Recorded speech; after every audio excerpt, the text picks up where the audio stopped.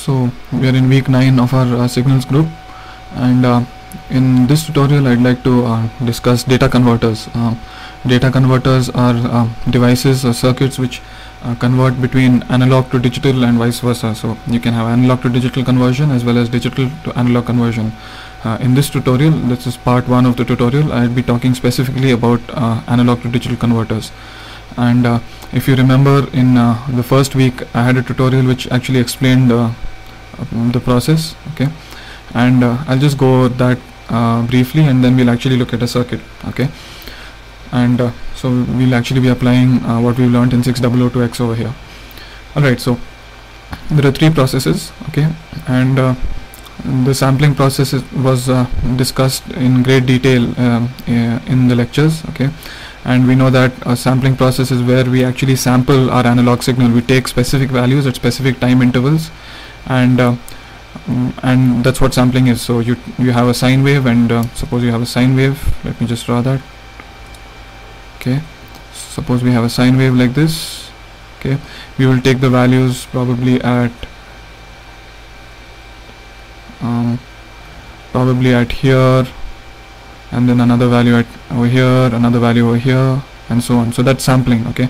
We are sampling certain values and uh, we do this by uh, multiplying a signal with a train of impulses okay ideally speaking but anyway so that that's sampling where we take specific values okay. Um, the next step quantizing is not discussed in the lecture but I um, I talked about this again in week 1 so in, in the quantization step what we do is we discre discretize even the y-axis because uh, each of these values can be something like root 2 suppose suppose this number this value over here is root 2 okay? And if this is sine wave the value over here in fact okay the value over here would be root 2 right? Sine of pi by 4 is 1, 1 over root 2 not root 2 my, my fault. So 1 over root 2 is an irrational number. You need infinite uh, decimals to uh, actually represent it. So you can't represent it exactly using uh, decimal notation. So some sort of uh, numeric approximation is needed and that step is called quantization. So quantization would you know you would if you remember I would break it down into levels probably four levels. And uh, I would see you know which whether the value the sampled value is above which above any of these four levels okay? And that's quantization. Um, the next step is uh, uh, optional. It depends on the circuit um, the circuit I'm going to show you requires this encoding step. Uh, the encoder takes the output of uh, the quantizer and uh, um, and converts it into a binary format which we can read. So it's possible that you know the I mean the quantizer you will see will give an output like this. It will give suppose it has four outputs um, V3 V2 V1 V0 it would give an output like this. So it will give always 0001 0011 0111 and 1111 okay? So this kind of uh, output is called a thermometric code. Uh, it's like a thermometer. You see the ones keep rising okay? So it's like it's like the mercury mercury level of a therm thermometer. And this code needs to be changed to a simple binary code. So since there are four levels we can use two bits. And we want this to be represented by a 00 this to be represented by a 0 01 this to be represented by 1 0 and this to be represented by 1 1 so this can be done using a priority encoder. Okay I just uh, designed a quick uh, boolean circuit to to convert these values to these values. Okay and uh, I, I won't go, be going into much detail but anyway. So those are the three steps. So sample is where you take uh, specific values quantize is where you uh, discretize the values. Okay and encode is where you convert uh, the quantized values into any format you like. You might even want to convert this to probably a gray code or you know there are different kinds of binary codes or maybe a BCD code, anything that's up to you. Alright, so let's actually look at a circuit. I have used uh, CircuitLab. Okay, um, this I, I discovered this site uh, in in the in the discussion forums. So what you see here is um, is a D to A uh, sorry an analog to digital converter. It converts an analog signal which is a, which is a triangular wave. Okay and that it converts this into um, a, dig- a, a digital signal okay?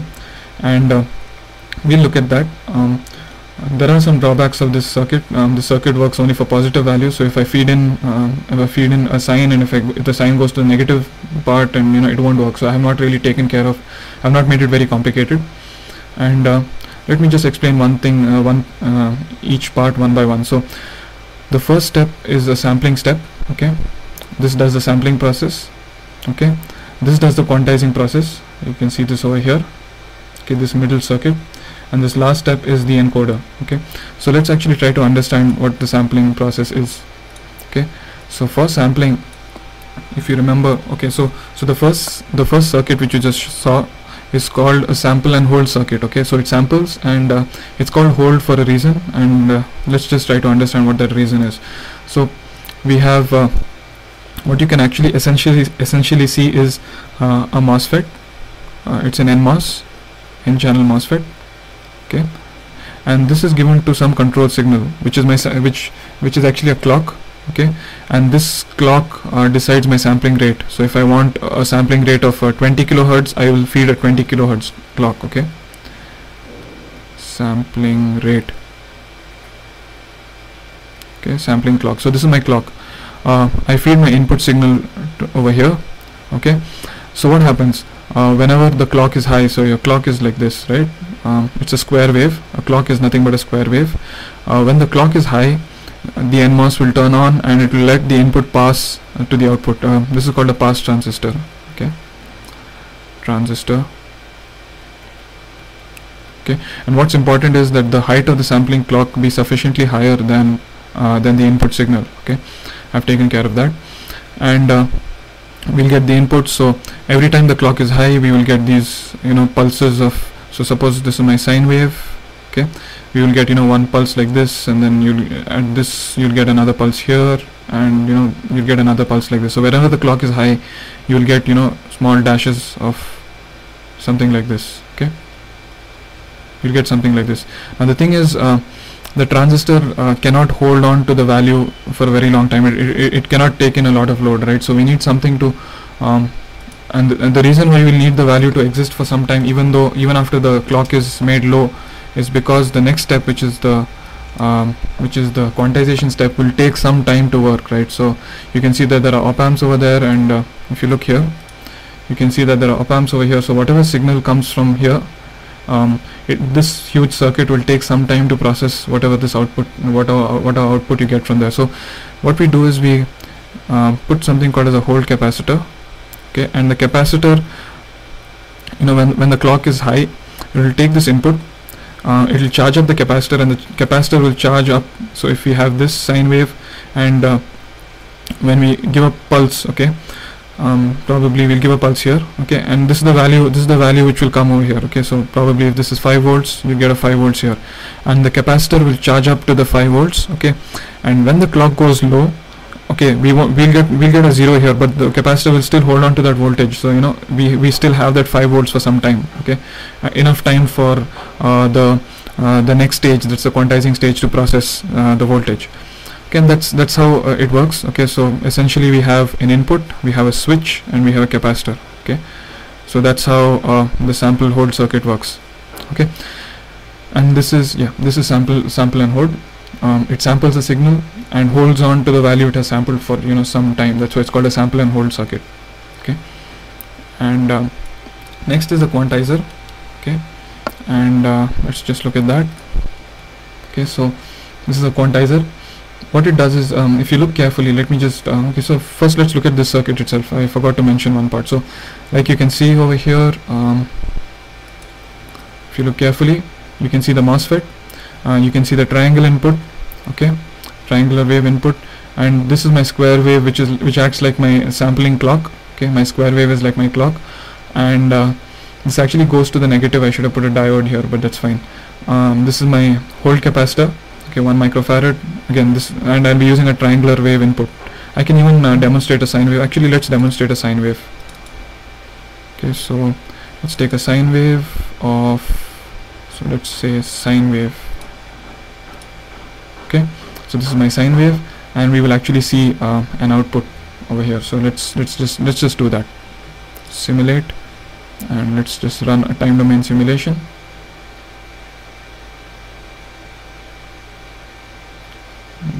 okay so let me just run it for a little longer. Probably two seconds. Okay, I'm using very slow uh, wave uh, signals just to make it e make my calculations easy. So we're going to look at this output the control and the input okay? Okay a few more seconds.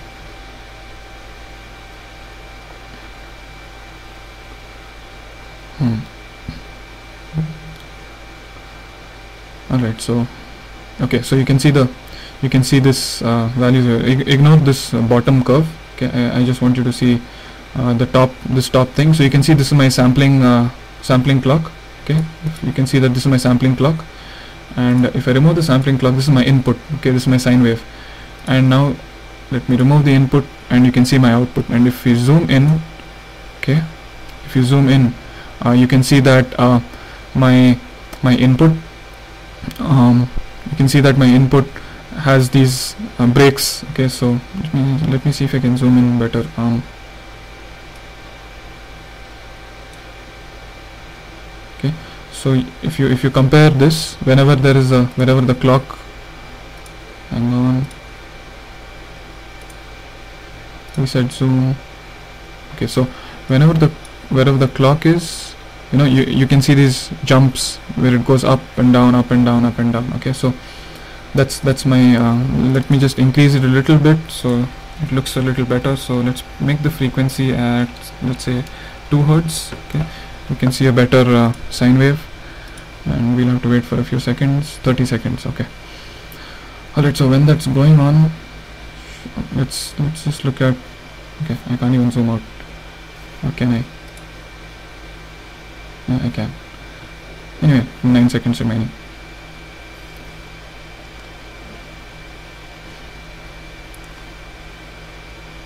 Okay.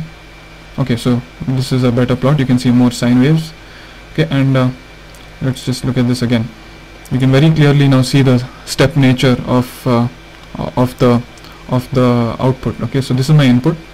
Okay this is my input and uh, this is my output. So you can see you know it reaches a value. The capacitor holds on to that value. Let me just zoom in.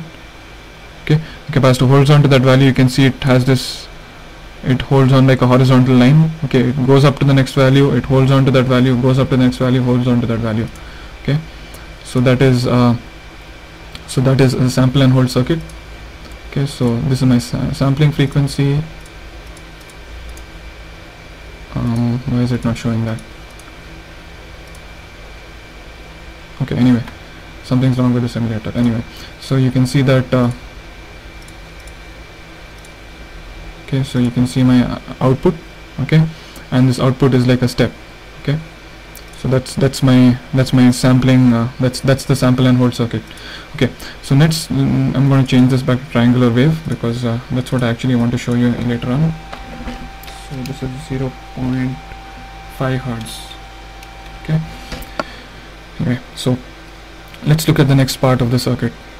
So zoom to fit and uh, what you here see here is a um, analog to digital converter. Actually this entire thing is an analog to digital converter. This is just the quantizer. And uh, the circuit you see here is called a flash ADC okay? A flash ADC ADC stands for analog to digital converter.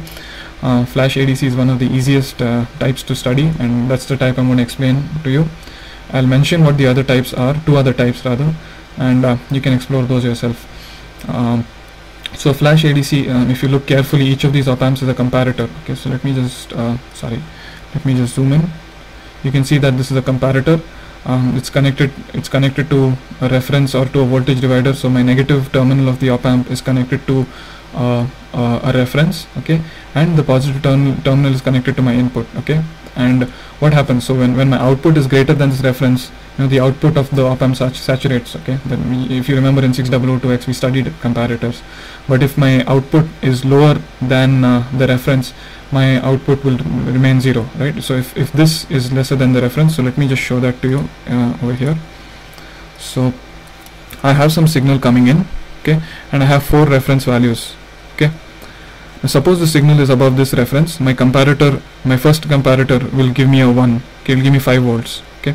If my signal is above this reference my first comparator will give me 5 volts but the second comparator as well. Okay otherwise it would be 0 if it goes like this it will be 5 volts as well. And if it goes like this again this will be 5 volts. So you can see the thermometric nature you know it's the first one comes to 5 volts and the second one comes to 5 volts the third one comes to 5 volts and the first one comes to 5 volts. So it looks like this you know the first one comes to 5 volts the second one comes to 5 volts the third one and the fourth one. So you have a 0 0 0 1 you have a 0 0 1 1 1 1 1 and 1 1 1 1 okay? That's the thermometric code I just talked about. So that's what happens here. You see only three comparators because um, sorry uh, you see three only three comparators because uh, um, for anything that's um, uh, above 0 okay the output is anyway 1 so my so my lowermost level okay so this this level is always 1 okay? So I don't need a comparator for that okay? And so I will be only needing 3 bits. Alright so this is my ADC and what do we do here we take we compare so this is like my uh, MSB my most significant bit okay? And it compares it with the reference voltage itself. So if, if anything is above 5 volts I will directly get a 1 over here. Um, this uh, divides it by I guess 1 by 3 uh, I have not done my math right. Anyway so it let's just do the voltage divider uh, relationship. So it's 100 uh, so it's 200 by 100 no it's 200 by 300 right so it's 2 by uh, 2 thirds of the uh, reference voltage one third and uh, no it's the whole reference voltage. It is one fourth give me a minute. 100 100 100 what's the reference here? So this this one's reference is 1 this one's this one's reference is uh, 2 divided by 3 and this is 1 by 3 right? Okay yeah that's it. So this is the this is this is the highest value. Uh, this is 2 by 3 and this is 1 by 3 okay so those are my those are my reference voltages. So when it reaches when it cross when it's at 0 uh, my d0 will be uh, 0 so, so my output okay we'll come to the last part later. Sorry. Sorry for mixing things up. So uh, when it crosses one third of uh, the V reference you know this this op amp will go high okay? When it crosses two thirds of the reference this will go high. And when it crosses the reference itself okay and this will go high when it touches the reference. So that's my that's my flash ADC and uh, let's look at the output of that for a triangular input. Okay. So you'll actually see that um, this will go high after some time and this one and then finally this will be the last to go high. Okay. Just do this quickly. Okay so you can see here that uh, um, hang on. It should be for a little lesser time so I guess it was 0.5 seconds um, like I said you cannot uh, measure uh, negative values. This this circuit won't work for negative values. Okay so you can see that uh, V1 goes high first. Okay? V1 goes for high first and it goes high when it reaches approximately uh, one third of the voltage. So you can see this is about one third of my my my reference voltage is about 5 volts and uh, what's 5 by 3 so 5 by 3 is 1.3 I guess 1.6 okay so um, let's just look at that again.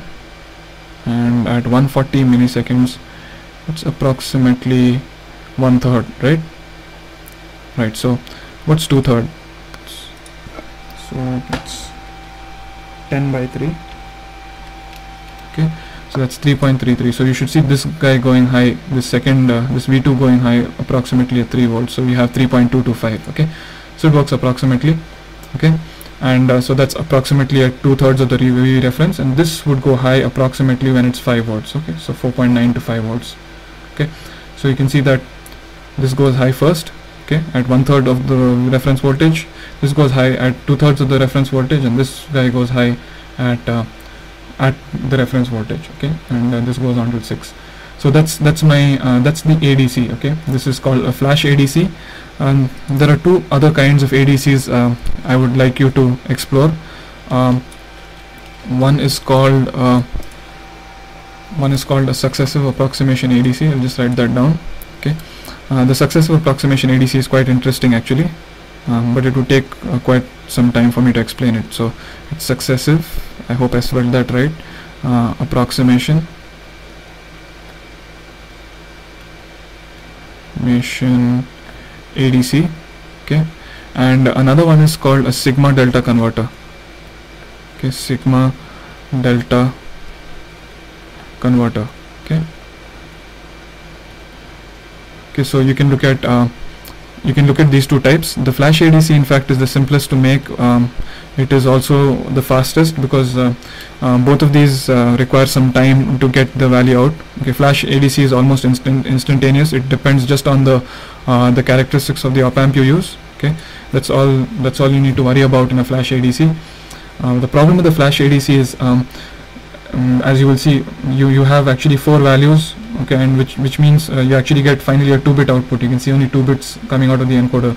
So for each uh, for if so if you need if you need n bits okay so if if your if your uh, accuracy needs to be accuracy needs to be n bits you need 2 power n minus 1 comparators okay. So if you have an 8 bit ADC you need 255 op amps okay. If you have a 16 bit ADC you need uh, 65535 op amps and that's a lot of op amps okay? So flash ADC requires a lot more uh, uh, a lot more circuitry. Um, but it's an easy to understand circuit and it's very fast as well. So what you could do actually is uh, a signal sigma delta converter actually uses uh, a low a low resolution ADC so you can see an 8 bit ADC is a lower resolution than 16 bit so it uses a lower resolution ADC um, and uh, it uses it twice to get it uh, to get a higher resolution. So this is this is also an interesting uh, uh, ADC to look at. Okay so try to explore both of these yourself. Okay and that's that's the quantize step. So let's finally go to the encode step. Okay and uh, there's nothing much to explain there. What I've done is I've just used uh, a simple logic circuit. I solved a K-map okay a Karnaugh map. Um, the Karnaugh map um, this, the, the truth table is very simple. I can just write that down for you. Um, my inputs to my uh, digital circuit are uh, uh, V3, V2, V1 and a V0 which is always 1 okay?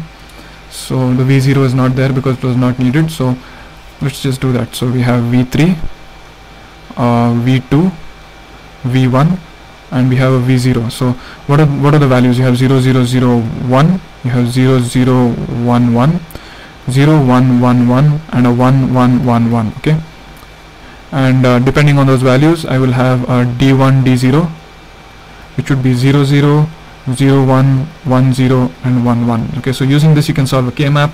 Um, I, I um, you, you can use k-maps you can use boolean uh, reduction any any method you would like um, to solve uh, to figure out what these values are. So actually this truth table should contain 16 values. Uh, I've you, I've kept the remaining values as don't cares. Okay so I, I hope you know what don't cares are. Okay so anyway so by solving this truth table um, you, you get a you get a circuit. So the the the value is that uh, d1 okay is equal to if I remember yeah uh, d1 is uh, v3 okay plus uh, let me write this write it down here. Okay so d1 is equal to v3 okay plus that is or v2 complement uh, and v1 okay this is d1 d0 okay if you look carefully uh, d0 is this. Sorry um, did I make a mistake? I think I did.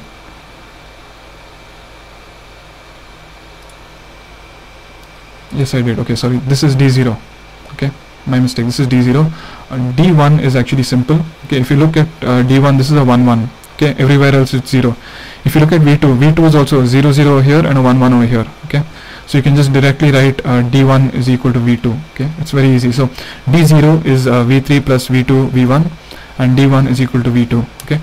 And that's the circuit um, and that's what I've that's what I've used over here. That's my boolean circuit. And if you look at the if you look at the output you can see you have a 0 0 this is a d1 this is d0 you have 0 1 you have a 1 0 you can have 1 1 so this is a 0 0 you have a 0 1 a 1 1 a 1 0 and a 1 1 so this is uh, analog to uh, sorry this is uh, yeah, analog to digital conversion okay? And uh, try to build the circuit yourself try to uh, you know modify various components try to build a high resolution ADC or try to build a sigma delta converter or a or, or, um, or, or a successive, successive approximation converter as well okay? And that's it for part one. Thank you